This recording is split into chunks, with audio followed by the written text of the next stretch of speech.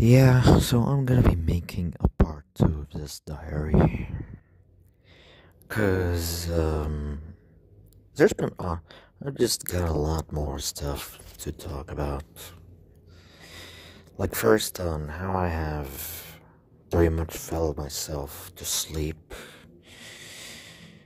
I've pretty much fell to sleep, like, at pretty, uh, like, at 4 p.m. 4 p.m. in the afternoon, and bloody hell was it painful. It's almost my bones were getting broken. Like, as well as my brain.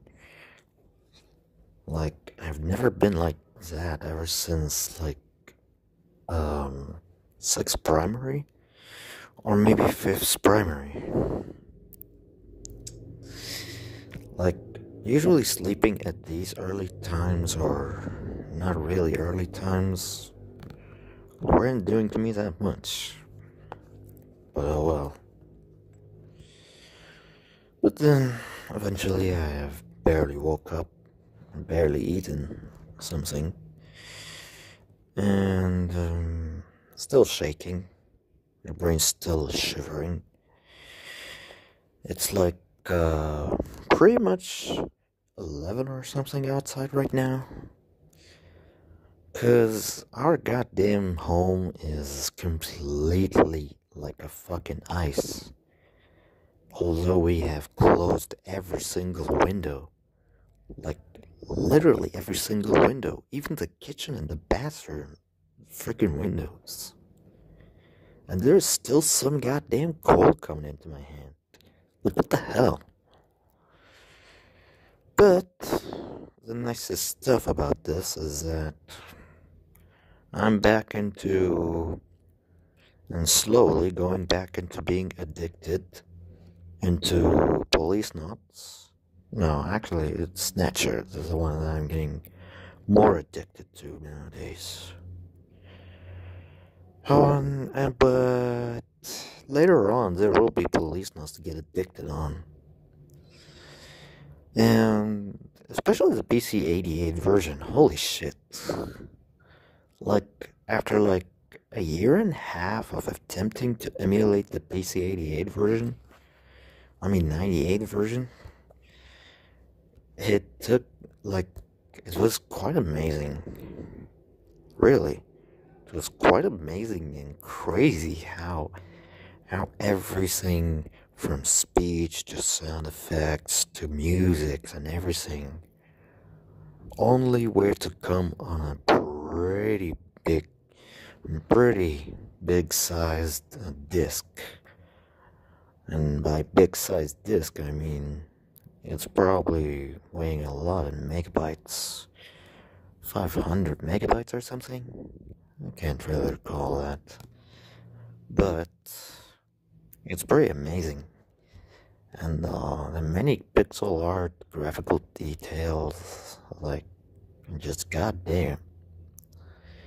Although, I really wish someone would be translating that.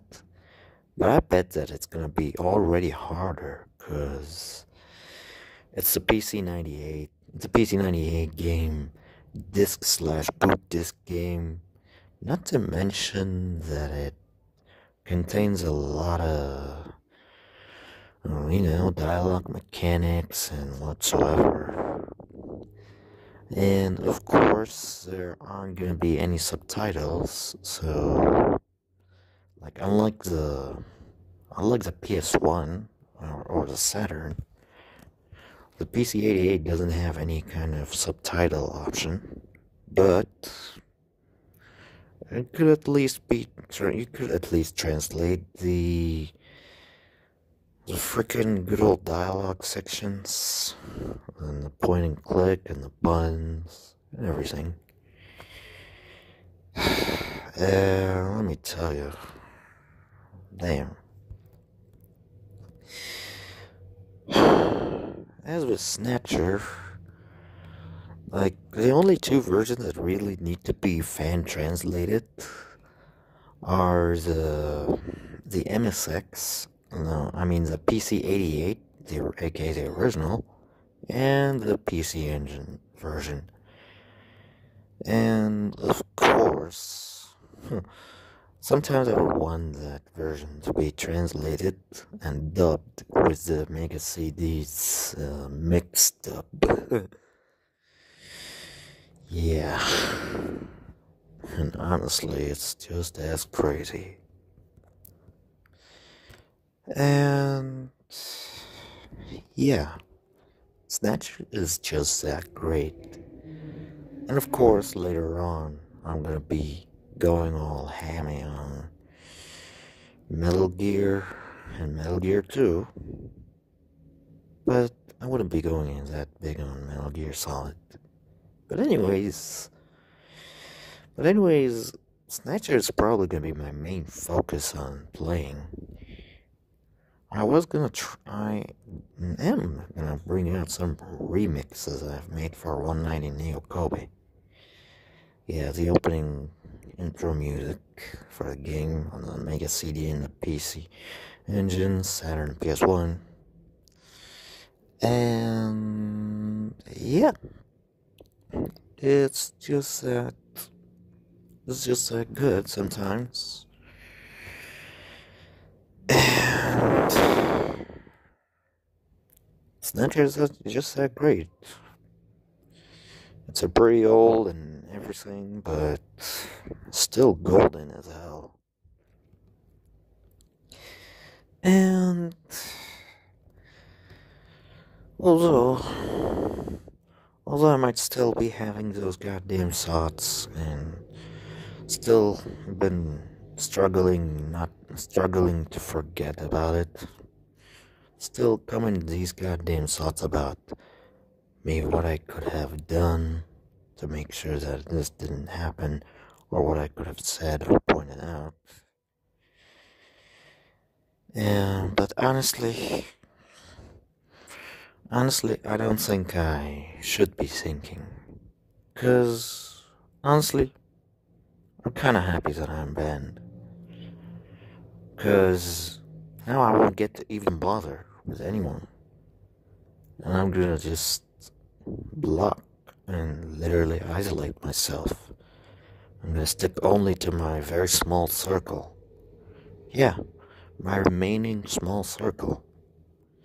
Because honestly, like I said at the morning while I was at college, which, by the way, there wasn't any freaking lectures today, which was a big surprise a really big, really big help. A little. But anyways, like I just said the morning, that the, the fact that the human being is a sociable person or a sociable creature is a complete fucking lie nowadays. Now, the human just want to kill the other humans. Just like how I want to destroy everything nowadays. And the fact that, um, the fact that there are people who are still so sociable, even though they have had, even though they have had like similar experiences with like many goddamn people during the years. It still baffles me how there are still most of them that trust people. I don't. Like, okay, I don't, and I will never trust anyone. And if, like, and like, say all, like, say all you want, but I'm not trusting or opening up anymore. The only way I'm gonna be opening up is to is by literally making these. These are what pretty much keep my mind off a little bit and let off a little bit of my voice because that's pretty much the only way I can talk to people in voice. I know I've had I've, I have some people I could just talk to on the, the voice call, but personally, I've never even made any type of voice calls except on that day. And let me tell you, let me tell you, sometimes, sometimes I just want to stick it in. And literally, I just want to find any kind of teleporter and teleport to one of them and live with them like forever. And honestly, honestly, all I wanted was literally a person. Literally a person to hear me out. Just like how I am talking to a wall. To understand. To even, like, judge me, but rationally for fuck's sake. I mean, sure. Like, sure, you could just call me whatever you want or judge me or whatever, but with fucking reason, please. With fucking reason. Because this is what we are doing. We're literally doing everything and without any kind of reason.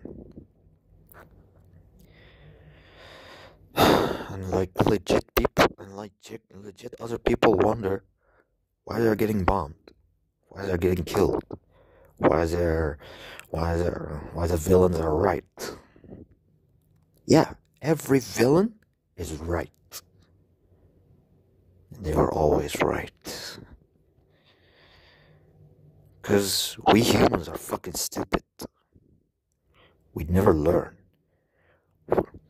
Legit, as, some, as long as someone who knows the past, humanity, humanity, literally is not gonna fucking stop being a fucking idiot. You know? Like, as long as there's someone who knows the past and still holds on to it and completely want to fuck other uh, people's lives for it, we are all gonna fucking die. Okay? We are all gonna fucking die. If we just keep going with holding on to the past and shove it in someone's face and fuck them up for it. Like, so someone has killed 50 years ago and he's still alive after 50 years. We're gonna literally just keep on holding it until he literally just keep shoving it in his face and make a fucking execution motherfucking sentence after 50 years? Or someone has stolen something from 12 years and he's alive after 12 years. You're gonna literally give him a sentence for for something that they did 12 years ago?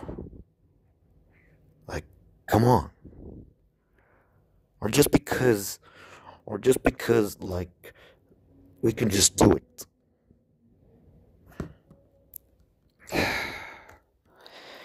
You know what's even more ironic? That those people i've looked up to them i've really looked up to them a lot. And what i got was was being looked down at like, why? Just why?